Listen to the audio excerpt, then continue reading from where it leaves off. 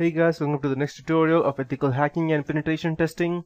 In the previous tutorials, I taught you as to how we can go ahead and gain access to the remote computers and get uh, the system, that means uh, the NT authority 1 that we want. Uh, so uh, now that we have access to the system, I have shown you what all things we can do, that is gaining access, maintaining access. Now it's time to go ahead and gather information about what the user is doing exactly. So what I could do, I can also go ahead and disable the keyboard or enable the keyboard, enable the mouse in the uh, system computer and a lot of other things. So let's first start with going ahead and gathering the keystrokes of our person as to what he is doing exactly. So let me check if I'm able to go ahead and uh, okay let's check if the my okay my net is still working perfect so I'll just go ahead and start the keylogger. So once you have the system access, you can just go ahead and type KEY K-E-Y-S-C-A-N keyscan underscore start and hit enter. So the uh, keystroke has already been started. So whatever I do, each and everything will be stored over there. So I need to go ahead and sniff that. So I need to go ahead and type key scan underscore dump. So that means whatever it is doing the person is doing I will start getting that over here. So I'll just go ahead and go to google.com let's see if I'm getting that.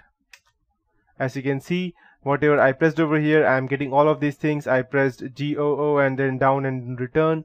Or if I go ahead and close this open and if I go ahead and type google.com and hit enter. And if I go over here and if I go and try to dump I should uh, get that I typed Google down and then return. That means the enter button. Now let's say I want to go ahead and gain access to my Gmail account. So I won't be actually accessing my Gmail account. I'll just type let's say skyfall.abc at the rate gmail.com and I'll just go ahead and type tab and I'll go ahead and use my password any random password let's say uh, let's say I am root. So I entered the email I entered the password and I hit enter and no and I actually used my fake one. So uh, if I go ahead and dump the keystrokes I should get that. Perfect. skyfall.abcd at gmail.com then I press tab and I am root. That is the password. So in this way you can also go ahead and gather keystrokes of any person uh, that you want. And if you want to go ahead and stop you can just type key scan underscore stop. And it will stop. The key sniffer, sniffer will be stopped.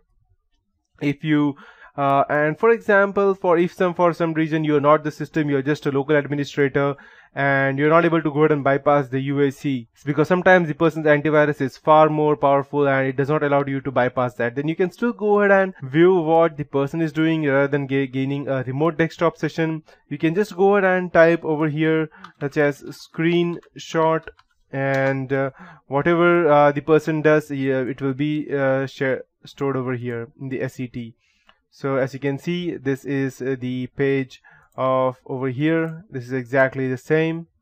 If I go ahead and let's say for example I open uh, my task manager. And if I go ahead and type the screenshot again another screenshot should be saved over here. It's this one. Okay perfect. As you can see the screenshot is saved. Let's just close this thing I'll delete this. So in this way you can still go ahead and gain access to that. And let's see if the person has webcams. As of now I don't have it over here. But if I had a webcam then I can go just go and type webcam underscore list.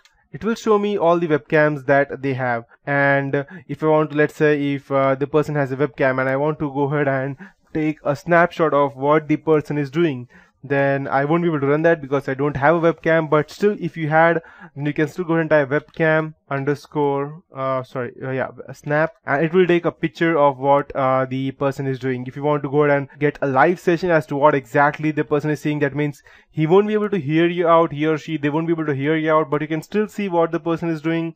You can still hear what they are doing. Then you can type webcam underscore stream and hyphen h and by doing this it will go ahead and take you to the specified webcam and hyphen h would be the number of webcam that you get over here. When you type webcam underscore list it will be either one or two or whatever you get.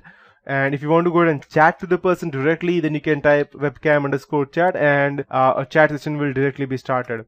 Or if you just want to record the voice of the person you can still go ahead and type r-e-c-o-r-d underscore mic hyphen h. H again would be the number of the mic that you have found and you can just go ahead and it will be saved over here again and everything will be done. Now this is far enough but uh, if you want to go ahead and uh, everything is done you just want to clear all your records then you need to go ahead and clear the event records. So for that you need to go ahead and type clear ev clear ev. It will clear all the event records. That means whatever you did from the starting. That means gaining access to the system modifying or making any changes and then getting back. So after this you need to go ahead and after you have cleared the event records go ahead and delete the uh, fake user that you have created. And again go ahead and clear the event record so that there won't even be an event record that you deleted the event records previously and some one fine thing that I'd like to show you would be to go ahead and disable uh, the user interface of the person. It, this is just for fun if you want to do. It is like UICTL not only for fun if you want to go ahead and just mess around with the person you can just go ahead and type. And you can see that uh, you can go ahead and enable or disable the keyboard or mouse. So uh, I'll just go ahead and see. My mouse is working right now. And I have I'll just go ahead and, and disable the mouse and disabling mouse. So if I go over here as you can see my mouse is not working. Doesn't matter what I click my mouse is not working. I'll just go ahead and enable that. And my mouse is enabled again. Perfect. And let's say for example if I'm writing something uh, not this one. Yes if I'm writing something like I can see I can write anything over here. If I want I can still go ahead and uh, disable the keyboard as well. So this is not just the keyboard. Any USB that is attached may it be a pen drive or anything else uh, the person will not be able to access that as well. So I'll just go ahead and enable that once more.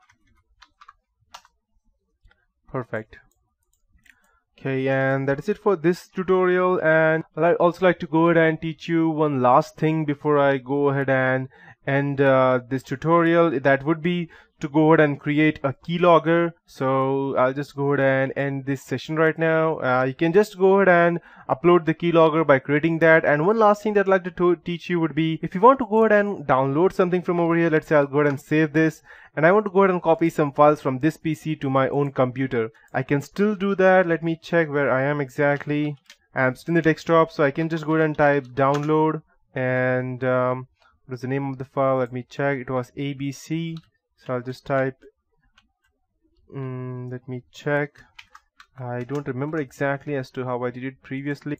So you can just go and type download let's say c slash users slash slash. I'll just go and type uh, copy it over here. Mm. and I want to copy the abc period txt okay uh, I think uh, I would be needing a single quote right now. Parse error let me check. Okay okay I believe I yeah sorry I just uh, did not complete the code as you can see I the file has been downloaded and I have the file over here. Perfect. This is an awesome file. So and this is an awesome tutorial as well so yeah and I'll be closing this session and I'll be deleting this both as well. And this and this. And I'll be showing you as to how we can go ahead and finally I'll teach you how we can go ahead and create a Python script. And uh, you need to go ahead and create this Python script over here in Windows. Go ahead and install the Python from over here.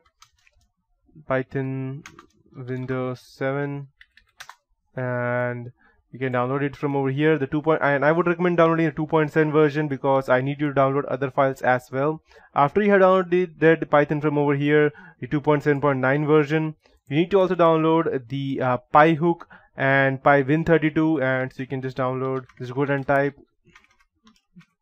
You need to download all the modules PyHook and okay. And you can download it from over here and the PyWin 32 I believe.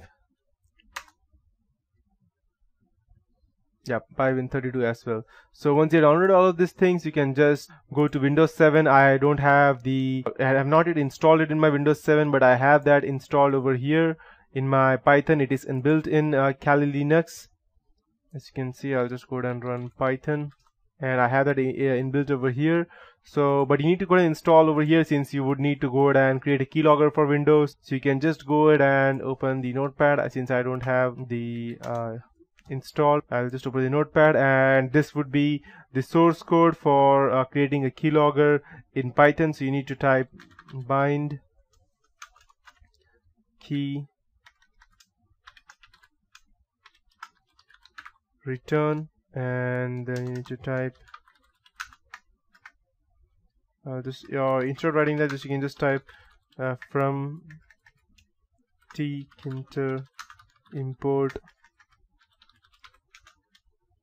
asterisk root equals to tk and define read ignore print hello and you can also go ahead and ignore this root I'm just going ahead. It, this is just a friendly keylogger that in case if you even go ahead and uh, let's say you're unable to go ahead uh, uh, even if you go ahead and quit or uh, remove your um, python not python exactly sorry uh, your payload then even this will go ahead and help you to create this. And this is the basic uh, main part of that. So this is how you can go ahead and create a keylogger by using these files and yes that is it for this tutorial. In the next tutorial I'll be teaching you more about the how we can go ahead and uh, also use Kali Linux to go ahead and inject our own payloads in, into into our Windows uh, updates. As well as I'll also be teaching you how we can go ahead and create a Trojan horse uh, which I can go ahead and insert into an MP3 file or a PDF file and send it to our client. And finally we would also be learning uh, Android hacking that is uh, going ahead and um, uh, let's say uh, getting into uh, anyone's Android system, even iOS, our Lumia, that's our Microsoft phone as well. That is for it for this tutorial. I'll be uh, meeting you next tutorial guys.